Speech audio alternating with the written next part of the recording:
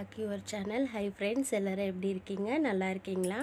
இன்றைக்கி என்ன கிளாஸ் பார்க்க போகிறோன்னா ப்ளவுஸ் பீஸில் வந்து பேப்பர் கட்டிங் எப்படி போட்டு கட் பண்ணுறது தான் பார்க்க போகிறோம் லாஸ்ட் கிளாஸில் வந்துட்டு பேப்பர் கட்டிங் பார்த்தோம். இந்த கிளாஸில் வந்து ப்ளவுஸ் மேலே கட் பண்ணுறது தான் பார்க்க போகிறோம் நான் வந்து ஒன் மீட்டர் கிளாத் எடுத்துக்க சொன்னேன். உங்ககிட்ட ஒன் மீட்டர் இல்லைனாக்கா எயிட்டி செம்பர் கட்டிங் போட்டுட்டு கரெக்டாக தான் பாருங்க. அதுக்கு முன்ன துணி எவ்வளோ இருக்குது அப்படின்றத நீங்கள் பார்த்துங்க. ஒரு தடவை செக் பண்ணி.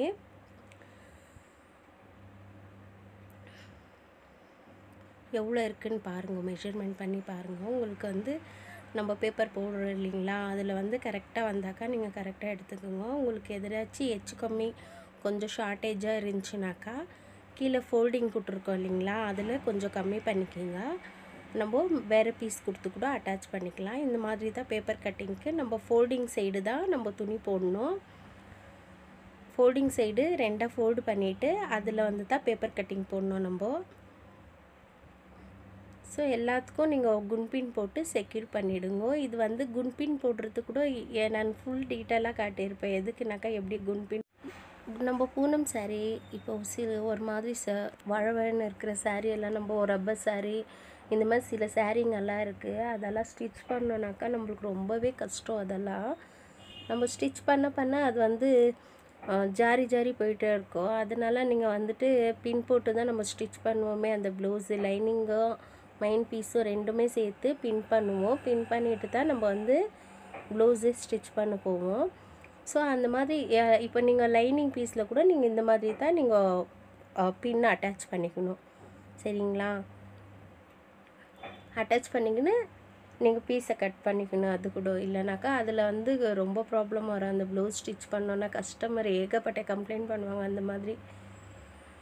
நீங்கள் வந்து கஸ்டமர்கிட்ட எப்பயுமே வந்து நம்ம ப்ளவுஸ் வாங்கினோன்னாக்கா நான் இது மறுபடியும் மறுபடியும் நான் சொல்கிறேனாக்கா எல்லாரும் ஒரே மாதிரி இருக்க மாட்டாங்க. சில கஸ்டமர் ஒரு மாதிரி இருப்பாங்க வேறு கஸ்டமர் ஒரு மாதிரி சில பேர் ஒரு ஒரு மாதிரி இருப்பாங்க. நம்மளுக்கு யார்கிட்டையும் நம்ம முகம் காட்டாமல் அவங்களுக்கு ஏற்ற மாதிரி நம்ம ஸ்டிச் பண்ணி கொடுக்கணும். அவங்க எது சொன்னாலும் ஓகே நான் ரெடி பண்ணி தரேன் அப்படின்னு நீங்கள் சொல்லணும் சரிங்களா? இப்போ வந்து ஸ்ட்ரைட் கட்டு இப்படி போட்டு இது போட்டாக்கா கிராஸ் கட்டு ஃபஸ்ட்டு போட்டோம் இல்லைங்களா? அது ஸ்ட்ரைட் கட்டு இங்கே வந்து நம்ம ஸ்லீவ் வச்சுக்கலாம். இப்படி தான் நம்ம பேப்பர் கட்டிங் போட வேண்டியதாக இருக்கும். கிராஸ் கட்க்கும் ஸ்ட்ரைட் கட்டுக்கும் எந்த டிஃப்ரென்ஸே கிடையாது. இந்த மாதிரி கிராஸாக போகிறது தான் இப்போ வந்து நம்ம ஸ்ட்ரைட் கட் தான் பார்க்க போகிறோம் நான் ஸ்ட்ரைட் கட் போட்டிருக்கேன். உங்களுக்கு ஸ்ட்ரைட் கட் போட்டுங்க கிராஸ் கட்டிங்கு நம்ம போக போக நெக்ஸ்ட் கிளாஸில் வந்து நான் சொல்லி கொடுக்குறேன். சரிங்களா? இப்போ நீங்கள் பிக்னர்ஸ்னால நான் நம்ம என்ன பண்ணோம்னாக்கா இந்த மாதிரி பேப்பர் கட்டிங்கில் தான் நம்ம ஃபஸ்ட்டு ப்ராக்டிஸ் பண்ணணும். அதுக்கப்புறம் தான் நம்ம மெயின் கிளாத்தில் வந்துட்டு எப்படி லைனிங் மேலே எப்படி நம்ம கட் பண்ணுறது ப்ளவுஸ் மேலே எப்படி கட் பண்ணுறது இந்த கிளாஸ் எல்லாம் நெக்ஸ்ட்டு நெக்ஸ்ட்டு ஒன் பை ஒன்னாக வரும். இப்போ வந்து நம்ம இந்த கிளாஸை பார்க்கலாம். பிக்னர்ஸ்னால நம்ம ஸ்டார்டிங்லேருந்தே படிச்சுட்டு போனால் தான் நம்மளுக்கு நல்லாவே புரியும். நம்ம வந்து எடுத்தோடனே ப்ளவுஸ் கட்டிங் ஃபுல்லு எப்போ ஃபுல்லு போட்டுட்டு திரும்ப ஸ்டிச்சிங்கும் ஃபுல் போட்டோம்னாக்கா அது வந்து சில பேருக்கு புரியாது சரிங்களா? அதனால நம்ம என்ன பண்ணலான்னாக்கா ஸ்டெப் பை ஸ்டெப்பாக கற்றுக்கலாம் அப்போ தான் நம்மளுக்கு ஏதாச்சும் டவுட்ஸ் இருந்தாலும் நம்மளுக்கு கிளியர் ஆகும். சரிங்களா? உங்களுக்கு ஏதாச்சும் டவுட்ஸ் இருந்தாலும் என்னை கமெண்ட்ஸ்லேயும் கேட்கலாம் வாட்ஸ்அப்லேயே கேட்கலாம். இப்போ பேக் ஆயிடுச்சு ஃப்ரண்ட் ஆயிடுச்சு இப்போ ஸ்லீவ் ஸ்லீவ் வந்து டபுள் ஃபோல்டிங் பண்ணிவிட்டு இந்த ப்ரொசீஜரில் போடலாம். இல்லைன்னா இப்படி போடலாம். இது கூட கிளாத் எப்படி இருக்குது எந்த சைடு ஃப்ரண்ட் அண்ட் பேக் போடலாம்? எப்படி நம்மளுக்கு அட்ஜஸ்ட் ஆகுதான்னு பார்த்துட்டு நம்ம இந்த மாதிரி தான் நம்ம ஸ்லீவ் கூட போடுவோம். நம்ம ப்ளவுஸில் வந்து ரொம்ப அட்ஜஸ்ட்மெண்ட் பண்ணி இப்போ வந்து சில கஸ்டமர் வந்து தடிமாக இருப்பாங்க. அவங்க வந்து எயிட்டி சென்டிமீட்டர் கொடுத்துட்டு எனக்கு இதில் ஸ்டிச் பண்ணி கொடு நான் சொல்ல நீங்கள் என்ன பண்ணுங்கனாக்கா ஆகாது அப்படின்ட்டுலாம் சொல்லாதீங்க. அவங்களுக்கு ஆனால் எல்போ ஸ்லீவ் மட்டும் நம்மளுக்கு ஆகாது அவங்களதில் ஸோ எல்போ ஸ்லீவ் வேணும்னாக்கா நீங்கள் அது கூட நம்ம வந்து மைண்டில் வச்சுக்கணும். நீங்கள் போக போக பழக பழக எவ்வளோ வேணும்ன்ட்டு அவங்க சொல்லுவாங்க ஒன் மீட்டரில் எனக்கு எல்போ ஸ்லீவ் வருதுன்னுவாங்க. ஸோ நீங்கள் நம்ம துணி அங்கே அட்டாச் பண்ணுவோம். அந்த அட்டாச் பண்ணுறத கூட அவங்களுக்கு நீங்கள் சொல்லிடணும். இப்போ ஃப்ரண்ட்டு பேக் ஆயிடுச்சு. பட்டி பீஸ்க்கு கிராஸ் பீஸ்க்கு இந்த இடத்தெல்லாம் நம்ம எடுத்துக்கலாம். இதுக்கு வந்துட்டு எங்கே வச்சுக்கலாம். இல்லை எங்கெங்கே துணி இருக்கோ அதை வந்து நம்ம அட்டாச் பண்ணி தான் நம்ம வந்து ஸ்லீவுக்கு போடுவோம். ஸோ இதில் வந்து நம்ம என்ன பண்ணுவோம்னாக்கா ஊக்பட்டிக்கு ஹை பட்டிக்கெல்லாம் நம்ம வேறு துணி தான் நம்ம அட்டாச் பண்ணுவோம். ஏன்னாக்கா இல்லை உங்களுக்கு பார்த்தாவே புரியும். கிளாத் வந்து கம்மியாக இருக்குது இது எதுக்கு நான் கம்மி இதுலையேனாக்கா உங்களுக்கு வந்து புரியட்டோன்ட்டு நெக்ஸ்ட்டு வந்து நம்ம ஒன் மீட்டரில் அப்படி கூட இது ஒன் மீட்டர் துணி தான் இதெல்லாம் நம்ம ஃபார்ட்டி சென்டிமீட்டர் எடுத்துருக்கிறதுனால கொஞ்சம் இதுவாக இருக்குது இப்போது பேக் பீஸ் பக்கத்தில் இடம் இருக்குது இல்லைங்களா அது வந்துட்டு பட்டிக்கு எடுத்துக்கலாம். இல்லை நீங்கள் டூ ஸ்டெப் ஃபாலோ பண்ணலாம். ஒன்று வந்து பேப்பர் கட்டிங் போட்டுட்டு அது மேலே நம்ம கட்டிங் போடலாம். இப்போ பா பாருங்கள் ஸோ பேக் பீஸு ஃபோல்டிங் சைட்லேருந்து நம்ம எடுத்து கட் பண்ணுறோம் இந்த இந்த மாதிரியும் நீங்கள் கட் பண்ணிக்குங்க. இல்லைனாக்கா நெக்ஸ்ட்டு வந்து மார்க்கிங் போட்டுட்டு கூட நம்ம கட் பண்ணிக்கலாம். உங்களுக்கு இந்த ரெண்டு மெத்தடில் எந்த மெத்தட் உங்களுக்கு ஈஸியாக இருக்கோ ஸோ நீங்கள் அது ஃபாலோ பண்ணிக்கோங்க. சரிங்களா? உங்களுக்கு எந்த டோர்ஸ் இருந்தாலும் கேளுங்க நான் சொல்கிறேன் ஸோ கையை வந்து பிடிச்சிக்கோங்க. ஏன்னாக்கா கிளாத் வந்து சிங்க் ஆகாத இருக்கிறதுக்கு பிடிச்சிக்கணும். நம்ம அப்படியே கட் பண்ணின்னு போனோம்னாக்கா நம்ம ஏன்னாக்கா தரையில் கட் பண்ணுறோம் இல்லைங்களா? இப்போ நம்ம வந்து பிக்னர்ஸ் இப்போ தான் நம்ம ஒரு ஷாப் எதுவும் வைக்கல. நம்ம வந்து ஷாப் எதுனா இருந்தாக்கா டேபிள் மேலே கட் பண்ணுவோம். நம்ம வந்து இப்போ ப்ராக்டிஸ் தான் பண்ணிகிட்டு இருக்கோம். அதனால நம்ம தரையில் போட்டு தான் நம்ம ப்ராக்டிஸ் பண்ணிகிட்டு இருக்கோம். ஸோ நீங்கள் வந்து தரையில் கட் பண்ணுறோமே அப்படின்ட்டுலாம் ஃபீல் ஆகாதீங்க. நீங்களே ஃப்யூச்சரில் வந்துட்டு டேபிள் வாங்கி ஒரு ஷாப் ஓப்பன் பண்ணி நீங்கள் கூட கட்டிங் பண்ணலாம். சரிங்களா? நீங்கள் ஒரு ஷாப் கண்டிப்பாக ஓப்பன் பண்ணுவீங்க. ஸோ இந்த மாதிரி பேக் பீஸ் கட் பண்ணிக்கணும். இன்னொரு மெத்தட் என்னன்னாக்கா மார்க்கிங் மார்க்கிங் போட்டுட்டு கூட நீங்கள் கட் பண்ணலாம். ஸோ இது பேப்பர் கட்டிங் எப்படி இருக்கோ அதே மாதிரி மார்க்கிங் போடுங்க சரிங்களா?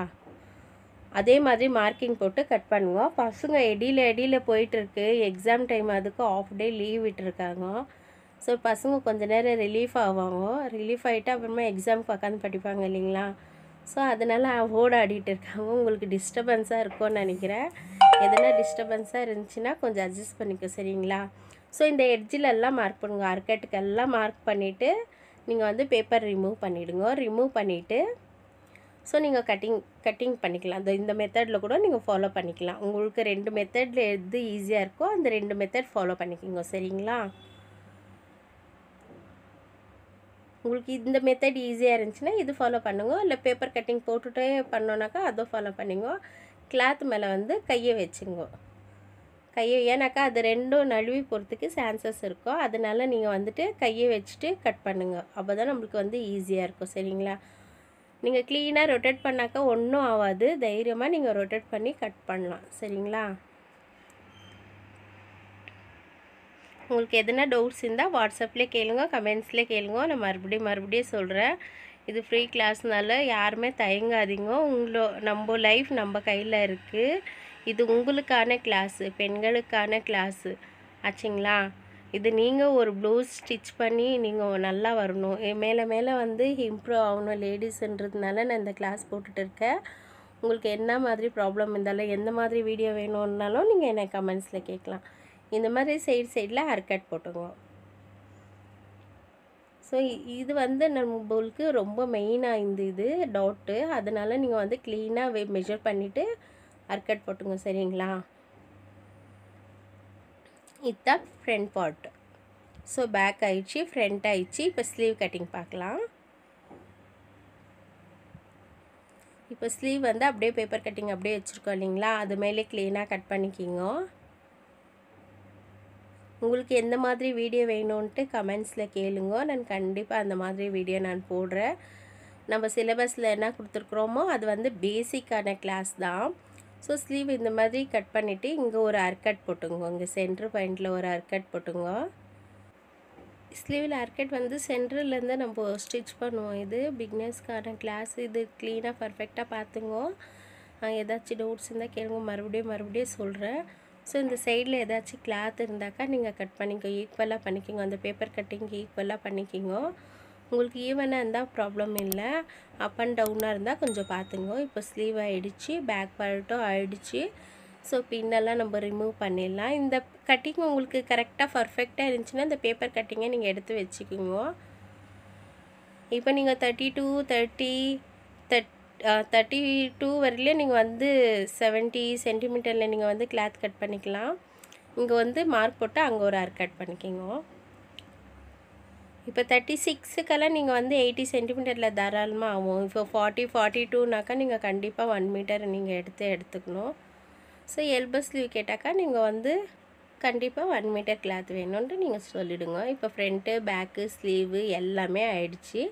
பட்டி பீஸ் வந்து நம்ம ஸ்டிச்சிங் அப்போ பார்க்கலாம். எங்கப்பா பட்டி பீஸுன்ட்டு டென்ஷன் ஆகாதீங்க. லாஸ்ட் கிளாஸ்லேயே நான் சொல்லியிருக்கேன்.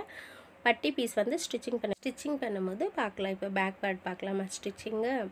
ஸோ பேக் பேட்டு நம்ம ஸ்டிச் பண்ணுறதுக்கு முன்னே அர்க்கட் வந்து ஃபோல்டு பண்ணிக்கணும். ராங் அண்ட் கரெக்ட் சைடு நம்ம மார்க் போட்டுக்கலாம். இப்போ வந்து நம்ம அர்கட் அளவுக்கு தான் நம்ம ஃபோல்டு பண்ணோம் அதுக்கு முன்னே நம்ம சின்னதாக ஃபோல்டு பண்ணலாம். ஃபோல்டு பண்ணி ஒரு ஸ்டிச் போடலாம். இது எதுக்கு நம்ம போடுறோன்னாக்கா ஸோ அப்படியே ஃபோல்டு பண்ணி கூட போடலாம். இதில் என்னன்னாக்கா கரெக்டாக ஈவனாக நம்ம பிக்னஸ் வந்து ஈவனாக ஸ்டிச் பண்ண முடியாது. கொஞ்சம் ஜாஸ்தி கொஞ்சம் கம்மியாகும். அதனால் நம்ம இது ஸ்டிச் பண்ணிவிட்டு நம்ம ஃபோல்டு பண்ணி அடித்தோம் நம்மளுக்கு எந்த ஒரு டென்ஷனும் இல்லாத ஃப்ரீயாக ஸ்டிச் பண்ணலாம். நீங்கள் ப்ளவுஸ் ஸ்டிச் ஸ்டிச் பண்ணிவிட்டு எப்படி இருக்குன்ட்டு எனக்கு கமெண்ட்ஸில் சொல்லுங்கள் ஓகேவா ஸோ இந்த மாதிரி ஆனவனையும் இப்போது ஸ்டிச் பண்ணுறீங்க இல்லைங்களா?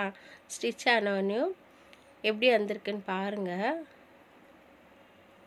ஸோ இந்த மாதிரி த்ரெட்டு கட் பண்ணிவிட்டு அர்கட் சைடு ஃபோல்டு பண்ணுங்கள் ஃபோல்டு பண்ணிவிட்டு சின்னதாக வேணும்னாக்கா உங்களுக்கு சின்னதாக ஃபோல்டு பண்ணிக்கலாம். இல்லைனாக்கா நீங்கள் ஒரு ஃபோல்டிங்கே உங்களுக்கு போதும். ஸோ கரெக்டாக ஆனால் அந்த அர்க்கட்குள்ளேயே நீங்கள் வந்து ஃபோல்டிங் பண்ணும்.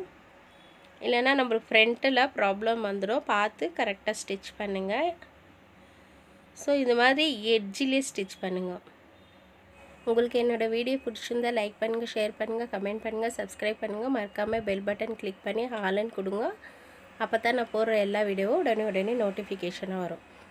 ஸோ இந்த சைடு நம்ம பண்ண சொல்ல ரெண்டு பக்கம் ஹீவனாக இருக்கான்னு பார்த்துங்க. செக் பண்ணிக்கோங்க. ரெண்டு சைடு இல்லைன்னா அப் அண்ட் டவுனாக வந்துச்சுனாக்கா சைடு ஜாயின் கொடுக்க சொல்ல நம்மளுக்கு ப்ராப்ளம் ஆகும். சரிங்களா? கரெக்டாக இருக்கான்னு பாருங்கள் ஃபினிஷிங் நம்மளுக்கு எப்போவுமே கரெக்டாக வரணும்னு சொல்லுவாங்க. சரி நீங்கள் ஃபினிஷிங் பாருங்கள் இப்போத்துலேருந்தே ப்ராக்டிஸ் பண்ணால் தான் நம்ம போக போக நல்லா தைக்க முடியும் சரிங்களா? இப்போ எட்ஜில் ஒரு தையல் போட்டுங்க. இது உங்களுக்கு ஆப்ஷனல் தான். உங்களுக்கு விருப்பம் இருந்தால் இந்த எட்ஜ் தையல் போட்டுங்க. இல்லைன்னா வேண்டாம். ஸோ இது பார்க்குறதுக்கு ஒரு நீட்டாக ஒரு அழகாக தெரியும். நீங்கள் ஸ்டிச் பண்ணி பாருங்கள் உங்களுக்கு. விருப்பம் இருந்தால் போடுங்க. இல்லைன்னா இந்த எட்ஜ் தையல் வேண்டாம். எப்படி இருக்குது பாருங்கள் ஸோ இப்போ வந்து நம்ம சென்டர் டாட் பிடிக்கலாம். சென்டர் டாட் பிடிக்கணுன்னாக்கா இந்த இடத்துலேருந்து சென்டர்லேருந்து ஃபோல்டு பண்ணிவிட்டு நம்ம பிடிக்கலாம். ஃபோர் இன்ச்சு விடணும்னு சொல்லியிருக்கேன் இல்லைங்களா? அங்கேருந்து பண்ணிட்டு ஒரு அரை இன்ச்சு கால் இன்ச்சு அளவுக்கு நம்ம விட்டுட்டு கிராஸ் கிராஸாக ஸ்டிச் பண்ணால் போதும். எப்பவுமே எட்ஜில் ரஃப் அடிக்கணும். ரஃப் அடிக்கிறத மறந்துடாதீங்க. ஸோ ரெண்டு பக்கம் கரெக்டாக இருக்கான்றத வந்து நீங்கள் மெஷர் பண்ணிக்கோங்க. மெஷர் பண்ணிக்கின்னு ரெண்டு பக்கமும் கரெக்டாக இருக்கான்னு பார்த்துட்டு நீங்கள் ஸ்டிச் பண்ண ஸ்டார்ட் பண்ணுங்கள் ஸோ நாளைக்கு கிளாஸ் என்ன இருக்கோனாக்கா ஃப்ரண்ட் பார்ட் இருக்கும். நம்மளுக்கு மெயின் வந்து ஃப்ரண்ட் பார்ட்டு தான் ஓகேவா இப்போ பேக் பார்ட் வந்து ஃபினிஷிங் ஆகிடுச்சு இவ்வளோ தான் பேக் பார்ட்டில் நம்மளுக்கு ஒன்றும் டென்ஷனும் இல்லை. இவ்வளோ தான் இருக்குது சரிங்களா நீங்கள் இப்போது பேக் பார்ட் ஸ்டிச் பண்ணிட்டீங்கன்னு நினைக்கிறேன். நாளைக்கு கிளாஸில் வந்து ஃப்ரண்ட் பார்ட் பார்க்கலாம். உங்களுக்கு இந்த வீடியோ பிடிச்சிருந்தாக்கா சப்ஸ்கிரைப் பண்ணுங்க. என் வீடியோ பார்த்ததுக்கு நன்றி. தேங்க்ஸ் ஃபார் வாட்சிங்